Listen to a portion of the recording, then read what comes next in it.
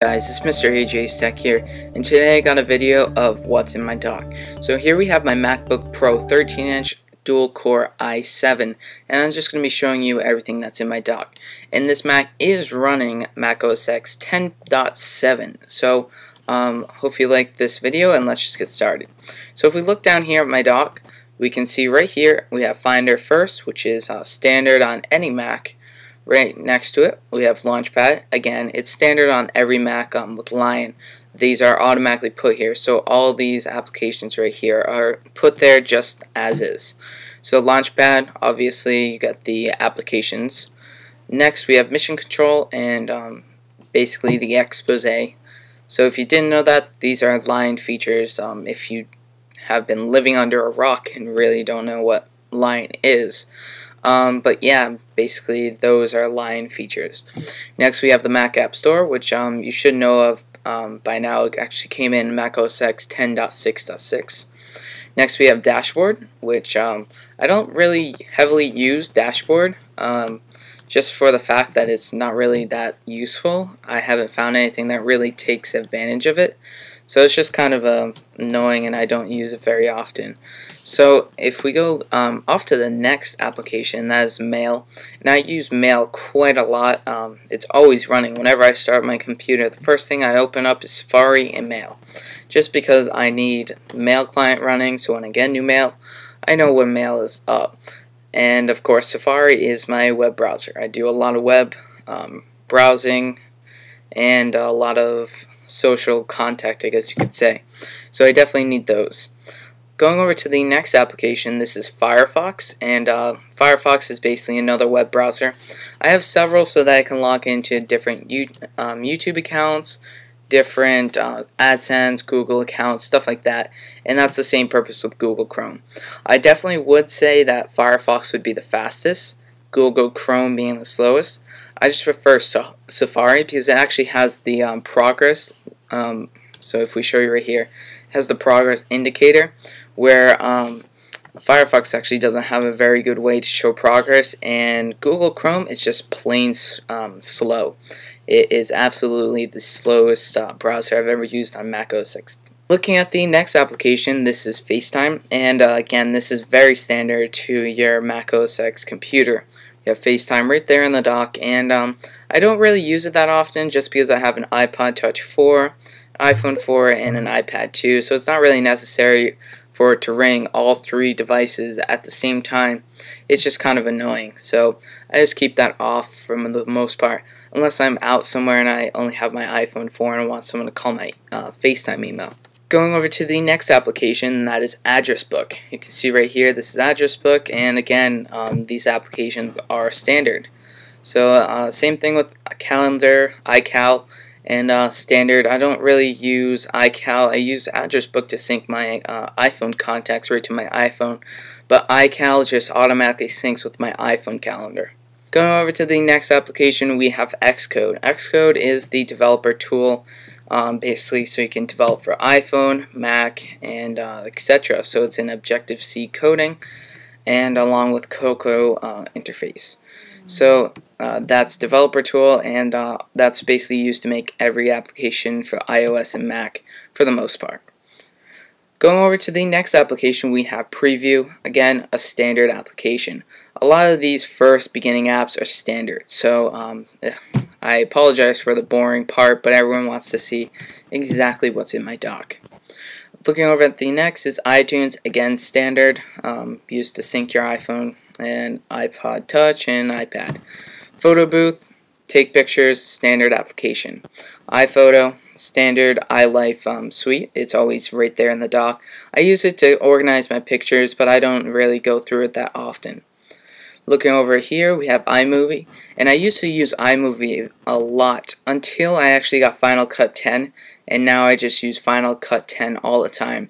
Although iMovie is very nice to simply edit, just uh, put a few clips together, and it's fast export time. GarageBand is also very fun. I haven't been using it lately just because I don't have the time to sit down and mess with my guitar and make drum beats, but I do also use it on the iPad, so and again, that is a standard application for the iLife suite. Looking over at the next application, that is ScreenFlow, and that's what I'm using to record my desktop right now. And this is uh, ScreenFlow 2.1, something like that, the latest version. And uh, it's a really great program. Obviously, I can't show you right now because I'm using it to record, but uh, definitely a worth it program and it runs really well. It records in 1080p, and um, yeah, so not too much to say about it, but allows simple editing along with a little bit of advanced editing, and there's also a new version coming out. Looking over at the next application, and that is Final Cut Pro. This is the new suite of it, and um, I'll actually just open it up just so that you uh, know that it's the new one. And um, it's pretty simple. Um, it's simpler than Final Cut 7 but I definitely like it over iMovie.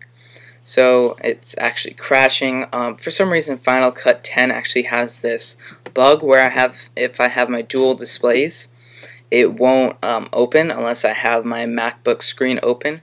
So I forgot about that when I started opening it. Next we have compressor, which I use to compress all the videos I export out of Final Cut 10. Um, basically just drag your um, clip right into here drag 1080p or 720p and um, I'm all set. Motion is an application that um, will basically allow you to edit some clips and stuff like that. I really haven't gotten much to use it just because, see, like it's effects for Final Cut and stuff like that. I haven't gotten a chance to use it because I'm not really, um, I don't really spend too much of my time. I spend the um, time putting videos out for YouTube. So I haven't spent much, much time. I didn't pay for that. Um, and that goes along to a video that I need to do in my piracy video and what I think about it. So obviously if I don't use the application I didn't pay for it so yeah yeah so FileZilla is an FTP client and basically allows you to um, access simple FTP um, connections and also gives you this uh, kind of command uh, right here it actually tells you everything it does and um, it's much faster than normal clients like CyberDuck and others like that. Next we have Photoshop which is very simple. Um, allows you to edit your photos. Everyone knows of Photoshop. Um, allows you to edit your photos and this is the CS5. Along with Dreamweaver which is the HTML, CSS, and um, standard web uh, code languages to edit. Um, this application is actually really good um, because it allows a split view so you can actually um, see. Let's just open up a random application I mean not an application uh, index. It allows you to see a live preview while you're editing the code so I really like Dreamweaver. It's definitely a worth it application. Um, again I did not pay for it just because the Adobe suites are crazy priced and it's outrageous for me to pay as um, a kid.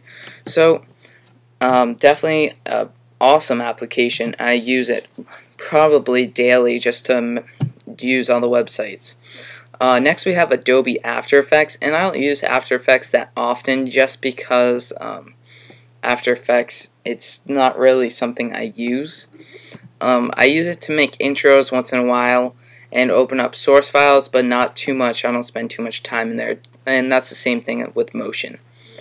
So going over to the next application, CyberDuck. Same thing as FileZilla. It's slower, but supports um, SFTP and SSH uh, connections. Uh, talking about that piracy, uh, uTorrent. We have uTorrent. It basically allows you to download your peer-to-peer -peer torrents, and um, although um, torrents are not always linked to piracy, although mostly it is, um, that's kind of a tricky uh, subject just because peer-to-peer -peer is usually um, mischievous. The next application is Time Machine and this is just a uh, shortcut to go into the uh, Time Machine to go back in time. Um, it's cool but it's kind of annoying. Uh, time Machine I have some issues with sometimes. Uh, next we have Skype which I actually have open right now and I use it to uh, talk to people and stuff like that. System preferences is pretty standard and um, definitely um, application you're going to have in your dock. Next one is Virtual DJ Pro and this application is very simple. Um, allows you to mix a few tracks and stuff like that. Um, I got this um, and it's pretty cool. So we can see right here, um, I have this uh, crappy skin on, but allows you to put these these music in effects and stuff like that. So I use it to mess around and sometimes at work I use the uh, Mixtrack Pro and the Numark NS6. Uh, next we have Terminal, pretty standard. I use it to SSH sometimes and um, yeah. Next we have Call of Duty 4. Uh, pretty standard, I think everyone knows what that is. It's just the simple game. We have Microsoft Word, PowerPoint, Excel, Outlook, Communicator, all these stuff. Um, I don't really use all this stuff, it's just there. Um, I haven't taken it out, I don't really care. Uh, next we have Smultron. It's a simple PHP, HTML, uh, JavaScript, all that good stuff editor. So it'll read most code languages and uh, put it into uh, code lines. It's pretty cool editor just for simple editing. We have iPhone Explorer, which allows um, SSH over USB. It's not actually SSH um, connection, it's just USB to um, the root of the device connection. Next, we have Redsn0w. It allows me, um, this one's the version that's for iOS 5 and allows me to boot tethered. TeamViewer allows remote um, desktop connection. Tiny Umbrella is SS, um, SHSH blob grabber. It has recovery fixer and stuff like that. This DS Store Cleaner actually doesn't work online, but um, basically allows you to clean out the Mac OS X uh, DS Store. It's basically cache that's um, put in a file. So if I'm uploading something to a repo, I definitely don't want that DS Store to be cached in there. Next we have Parallels Desktop, which I use to, for my virtual machine and allows me to run Windows 7 64-bit in the uh, virtual state so I can run Mac OS X and Windows at the same time. FrostWire, I think everyone knows what that is, but it's the alternative to LimeWire, and yes, uh, that goes along with my next video, um, piracy. Uh, Twitter, we have Twitter, basically the Twitter client. I use it sometimes, but I prefer the web um, client. So here we have Spotify, and uh, Spotify, if you don't know, um, it allows free streaming of music, any song you really want, and currently it's on invite only, but they're allowing quite a bit of people.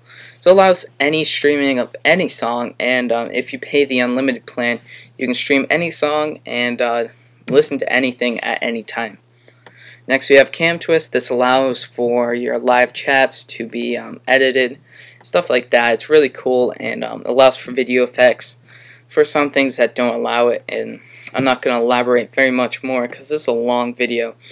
Uh, next we just have applications, documents, downloads, um, this is just a file that allows me to, um, it's my template for the uh, iOS 5 UDID, that's what I send in the email. And over here we have Windows 7 applications, and that is put there by default. And last but not least, trash. So guys, I hope you liked this video. It actually turned out to be much longer, and I have quite a bit of applications down here. But I hope you liked the video, and I hope it's as good as quality as always. And rate, comment, and subscribe, and check out iOS4Life.com.